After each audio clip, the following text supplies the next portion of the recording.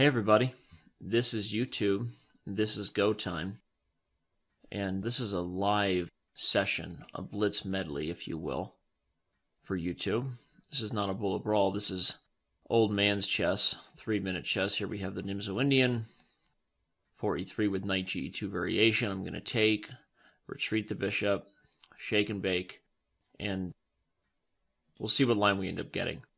d5 is a move that is considered to be sort of the challenging theory here, but other approaches, including I was going to say knight f4, are also totally possible. d5 is, is probably the move that equalizes in the most, how do you say, direct fashion. But b6, followed by the approach that I'm going to take with b6, is a sort of a hyper modern way to approach the position. It is a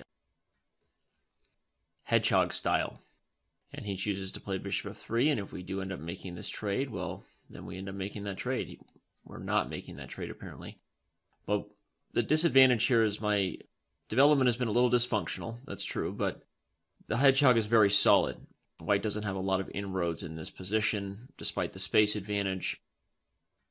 If black gets coordinated, he'd like to try to put pressure on the c file, the c4 pawn in particular over here, and maybe ask white exactly what he wants to do about that. So I'm going to go ahead and play the move queen to c7, which of course attacks the pawn immediately, but might even open up some doors for a move like d5, hitting the knight with a little little discovery action. I'm not exactly sure yet. We'll see what suits my fancy.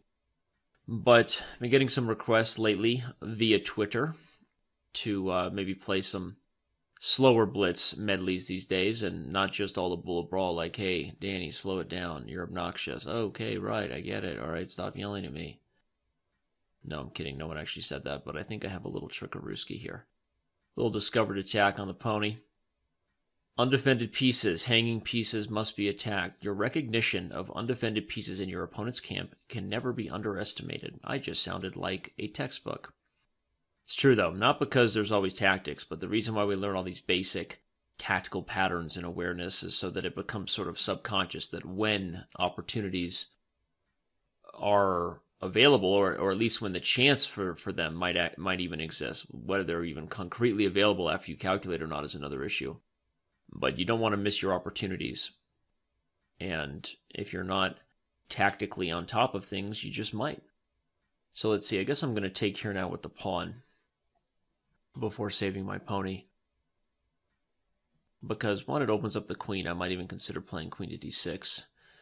And by gaining a tempo on the bishop and fixing the structure, I'm also sort of solidifying that this bishop over here is going to be out of play for the rest of the day.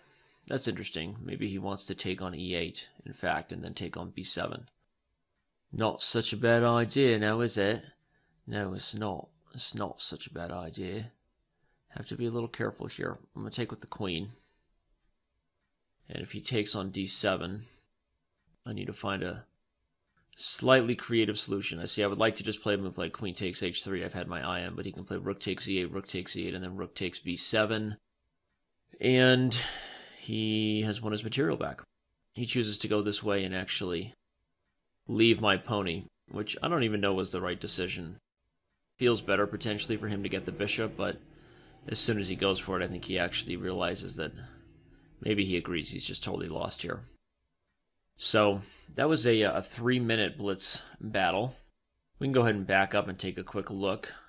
Leave this slightly more educational live session today, live chess commentary playlist. If you like it, go ahead and check it out. Go subscribe, everybody.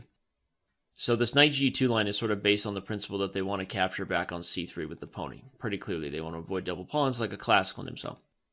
So here they have an option to take, but usually if I take on c3 and then target the c4 pawn, those lines are okay for black. But some of the challenging theory here exists after d5. And after takes, takes, I have a couple moves, but the most simple is a move like rook to e8, rather than bringing the bishop out to c5, which is sort of the old line, the old way they used to play it. Karpov used to play it that way. But white's considered to have an edge there. So black plays the slightly more flexible after takes, takes, rook e8, and if d6 is played, the bishop comes back to f8, and the pawn can be overextended in line. So learn that from my my old uncle, Uncle Jinji, as we'll call him, regular video author over there on chess.com. But here, so instead of playing d5, we get a hedgehog system, and you know this is sort of passive for black, and, and that's the point. When you look at it, it looks passive. Maybe he could have played knight to b5 here. If I play a6, does he have knight a7? Ooh, tricky business. But I have bishop e7 at the end of that line, I'm probably okay.